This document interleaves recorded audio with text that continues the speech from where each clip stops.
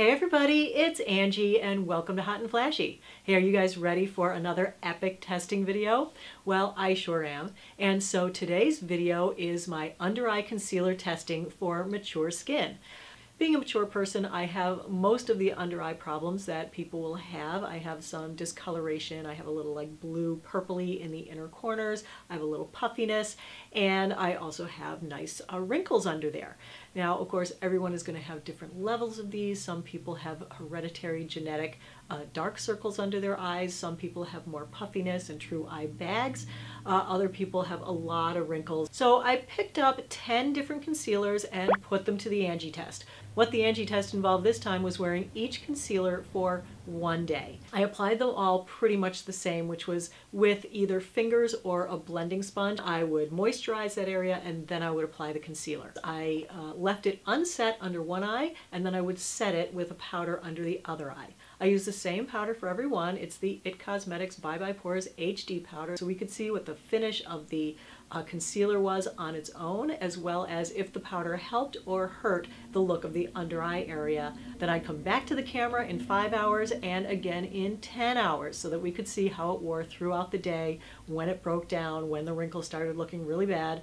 I took the pictures um, with my face, straight face, no smile, little smile, and then a great big smile so that we could all take a look at my under eye wrinkles up close and personal and see if concealer actually made them look worse, bigger, huge, scary, and I gotta say, I was really surprised by some of these results. And the last thing I wanted to say before we get started is that I'm not a makeup artist, and so my application might not be perfect and consistent from day to day, but I think that's okay. I'm testing things as, from the standpoint of an average person who uses makeup like in their bathroom. The other thing is that of course I'm putting this on my skin and my skin will be different from your skin and my personal preferences of what I like might be different from what you like. All right, so the first one and therefore the worst one is by Makeup Atelier. This is their fluid concealer. It retails for $18 for 0.253 ounces and it comes in 15 shades. This comes with a small doe foot applicator. This one I picked up in the shade FLWA2. Uh, that is like a medium apricot color.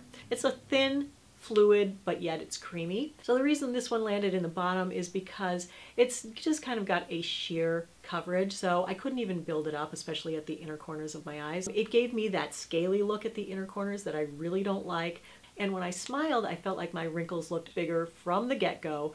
This one also settled into my wrinkles whether I set it or not.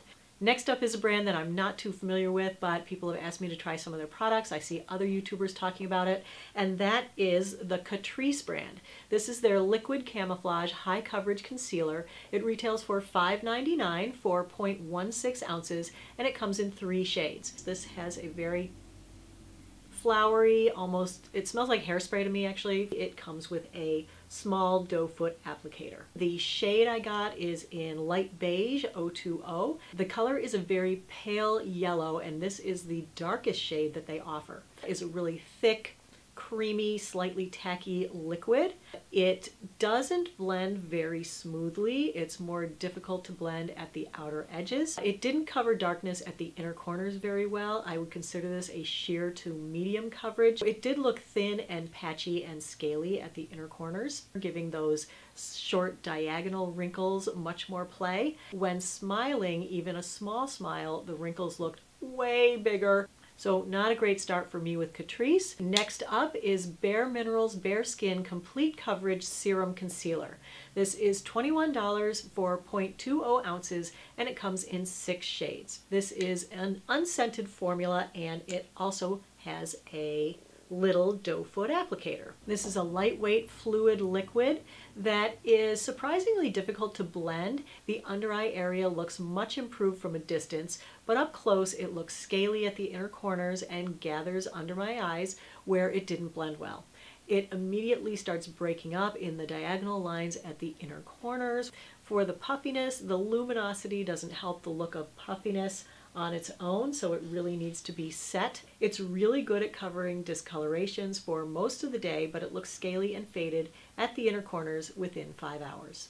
Next up is the brand new concealer from NARS. This is their Soft Matte Complete Concealer. It retails for $30 for 0.21 ounces and it comes in 16 shades. I got light 2.75 and that is called Canelli. But I gotta say the shades are not the same as in the Radiant concealer because in the Radiant I wear Custard Medium 1 and in this one the Custard was way too dark. So even though they have the same names, it's not the same colors. This is unscented and it comes in this little pot. It is a very stiff cream. It really needs the warmth of your fingers to warm it up in order to make it blendable. I did try to blend it with a sponge and that just didn't work out very well. It offered medium to full coverage. It was buildable, but I gotta say the finish is not matte. Um, I found this to be fairly radiant. Darkness is covered, the color correcting is good. Uh, I feel like the wrinkles look the same or slightly diminished on the powdered side, especially when I'm smiling. Uh, but it does start settling into wrinkles on the non-powdered side within minutes. Coming back at the five hour check-in, it had settled into wrinkles under both eyes, including the one with the setting powder, and my wrinkles appeared magnified. It looked scaly and patchy at the inner corners. It was wearing off and looking dry. I actually had started doing this review including NARS Radiant Creamy Concealer, uh, but I decided that I didn't want to have two NARS concealers in here. When it was in this testing, it was coming in at the last position, so it was absolutely the worst for me. All right, next up is one that I use all the time and was really liking and thought looked great until I did the testing and that is the Urban Decay Naked Skin Concealer. This retails for $28 for 0.16 ounces, making this the most expensive one. It does have a small doe foot applicator, and it is unscented. I picked this one up in light neutral and it has a little bit of a peachy undertone. This is a creamy liquid. This one blends really super easily. I really liked how this one blended. Um, the coverage was sheer to medium and the dark darkness was not completely covered. It looks slightly scaly at the inner corners and the luminous finish accentuates the puffiness. When smiling, the wrinkles looked larger on the non-set side. At the five hour check-in, this one looked exactly the same as when it was just applied. So the wrinkles didn't look worse and it wasn't starting to wear off. At the 10 hour check-in, it was only slightly faded overall. All right, you guys, we have rounded the corner. We're out of the bottom five and we're into the top four. So at the bottom of the top four is Makeup Forever Ultra HD Invisible Cover Concealer. This is $27 for 0.23 ounces and it comes in 14 shades. It is unscented and it comes in just a squeezy tube with a little bit of a round end that is supposed to be used as an applicator, but I tried it that way and really did not find that to be a successful use. I got this one in the shade R32, which is a very peach tone, but it does look natural once it goes on. This formula is a fairly thick, stiff formula that is very easy to blend. It gives you solid, full, opaque coverage. It really covers darkness and uh, the peach tones do color correct very well. It does have a luminous finish. When set, it does diminish puffiness all day. Because of the thick, stiff formula, the wrinkles look larger on the non-set side when smiling. It settles into wrinkles within five hours if it's not set, um, but it doesn't settle if it is set. It makes wrinkles look larger and skin look drier by the end of the day. All right, next up and third from the top is one that I had included in my best of 2016 video because I had worn it a few times and really liked it, but I was kind of on the fence about it, and so I really needed to put it in this testing video to see if it was really that great. Um, it is kind of really that great because it is in the top, and that is the Tarte Shape Tape Contour Concealer. This retails for $24 for 0.3381 ounces and it comes in 14 shades. It is a large container and it comes with a whopper of an oversized doe foot applicator. And this has quite a strong scent. It smells flowery or lemony. The shade I got this in is in light medium honey and this is a very thick, very creamy, very opaque concealer. It's a little stiff, so it's not the easiest to blend. And surprisingly, it's easier to blend when more is applied. When it's first applied, both eyes look definitely improved. The darkness is covered. The puffiness appears reduced, definitely more on the set eye than the non-set eye. Considering how much I applied though, it didn't really settle into wrinkles very much at all on the non-set side. On the side with the setting powder, no settling at all. But when smiling, the wrinkles look slightly bigger on the non-set side and slightly smoothed on the set side. So five hours in, it was starting to wear off and look patchy and scaly at the inner corners. Are you noticing a trend here? The wrinkles on the side that I powdered actually look smaller at the five hour mark, but sadly the wrinkles on the non-powdered side look larger and deeper and more magnified. At the 10 hour check-in, it was majorly worn off at the inner corners, looking scaly and accentuating those diagonal inner corner lines, but the wrinkles looked way bigger and skin around them looked dry and was showing more smaller wrinkles. All right, drum roll please, we're into the top two. This was kind of a tight race, neck and neck for number one, but the number one spot eked out number two just by a tiny margin. So the number two concealer is the Maybelline Instant Age Rewind Eraser. This is $9.99 for 0.2 ounces and it comes in six shades. This has a smell though, but it doesn't seem scented. Uh, and it has this foamy applicator ball. I don't really love this puffer. I don't really love how it gets all over the cap. I picked it up in the shade Light Slash Fair, which is too light for me. This formula is a thick and creamy formula. It blends pretty well, but it needs a little extra work to blend out seamlessly at the outer edges. The coverage is sheer to medium, but it is buildable. The finish is a satin finish, so no luminosity to make your puffiness or eye bags look big and overly bright. With setting powder, this does not settle into wrinkles. Without setting powder, this barely settles into wrinkles. Darkness and puffiness look diminished, and wrinkles appear bigger on the not set side and slightly smoothed on the set side.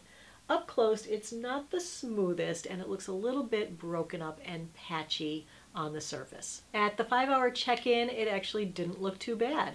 The um, set side is smoother and looks better even when smiling. The wrinkles look smaller. And on the unset side, they look slightly darker and it's not too worn off. At the 10 hour check-in, it was worn off at the inner corners, but otherwise it was looking pretty good.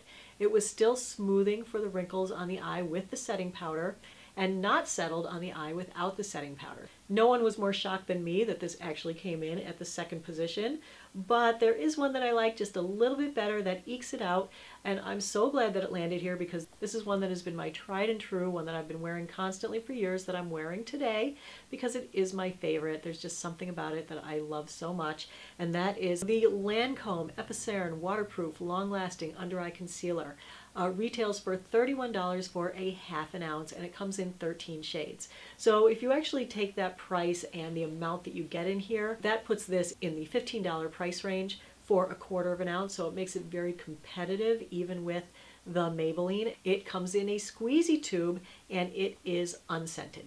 The shade I have it in is 250 Light Bisque. Uh, this is a highly pigmented, creamy formula. It is easy to blend. It's a sheer to medium buildable coverage concealer. It offers better coverage with the fingers or with a brush than with the sponge. But on the side that I applied it with my fingers at heavier coverage, it actually looked much, much nicer than on the sponge side applied with sheer coverage. On the heavier coverage side, the darkness is completely covered. The concealer is smooth um, although it did settle into one wrinkle right from the get-go, the one closest up to my eyelashes. On the sponge side, the coverage is much sheerer, but the color correction is still very good. It looks slightly scaly on the sponge side where it is applied sheer, and when smiling, the wrinkles look the same on the non-set side, but they actually look smoother on the set side than they do in the before picture without makeup. So at the five hour check-in, it was starting to wear off at the inner corners. It had major settling on the non-set side.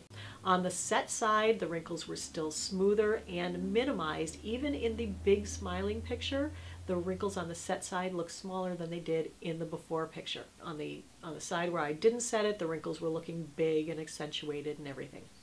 At the 11 and a half hour check-in, it is worn off at the inner corners with the darkness showing through. The wrinkles look slightly larger now when smiling, but overall the under eye area looks better than it did in the before picture. So I'm not sure that I found a 100% perfect under eye concealer out of any of these, but I did learn quite a few things. I felt like this was an amazing learning experience, this video, and So um, here are a few of the things that I did learn that I wanted to pass on to you, and maybe you noticed it in the pictures as well. What I noticed most of all is that under eye concealer definitely helps once you have some things going on under there. My eyes, at least, with under eye concealer on, just about any under eye concealer, look better than my eyes without any under eye concealer. The other thing is that setting powder is definitely your friend. Uh, I wasn't sure when I started this how this was going to go. You know, I like to keep my mind open and let the results come to me as they may. But I have heard repeatedly, and when people ask me this question, I would always say, yes, I think that, you know, using a, a, a product heavily and then setting it with a setting of powder is definitely going to make your under eye wrinkles look worse. And what I found out through this testing video is that that is not necessarily the case. What I did find with the last two concealers, or the last three concealers actually, is that they work so beautifully with a nice light coat of setting powder that they actually made my wrinkles on the setting powder side look diminished for most of the day. And that's pretty amazing. To have it actually smooth and make your bigger wrinkles look nicer, yeah, that is something. So based on this, I think that even on mature skin, heavier coverage looks better than lighter coverage. Especially, you know, if you have darkness or, you know, puffy eye bags or puffiness. I had been in the past applying with a tiny brush, just the tiny bit of concealer just on the dark side of my eye bag. And then what I was noticing is when I'd film a video or see myself, I could see it would make it look more ripply. Whereas where I applied any of these in a thicker coating, a heavier coating, so it was really like opaquely covering everything from kind of the inner nose all the way over to here, that it just looked better. It smoothed the entire area. You didn't have that like rippliness of where the puffiness was. I think overall it just looks so, so much better as long as it's using a good concealer and is blended nicely. You know, I don't think you need to make that giant triangle, you know, just keep it right up in there where your eye problems are blend it well, add the setting powder, and it gives a much more perfected look than doing it the way that I used to do it. And the third little lesson that I learned from this is that luminous finishes that claim that they're going to brighten your under eye area really don't do anything for mature skin. Those only work if you have beautiful, perfect, flat skin under your eyes. It's, it's my age-old problem with makeup. Anything luminous shines off the high points of things and makes the shadows look darker. So it actually makes your bags look bigger. It actually makes your puffiness look bigger. You can definitely use a luminous uh, concealer, but I think that setting it with a nice matte translucent powder is the way to go. Now I just need to work on finding an under eye primer that I can put on in the inner corner that will make all of these last in there longer so that my under eyes will look better for the entire day and not just for five hours. So I'm going to get on that and I will report back soon, I hope. So that's it for the video for today, everybody. Um, I hope you enjoyed it. I hope you found it helpful and informative. And as always, everybody, I thank you for your time. I really appreciate your watching, especially longer videos like this. But I mean, we covered nine concealers, so that is a pretty good day. Have a great day, everybody, and take care, and I will see you next time. Bye-bye.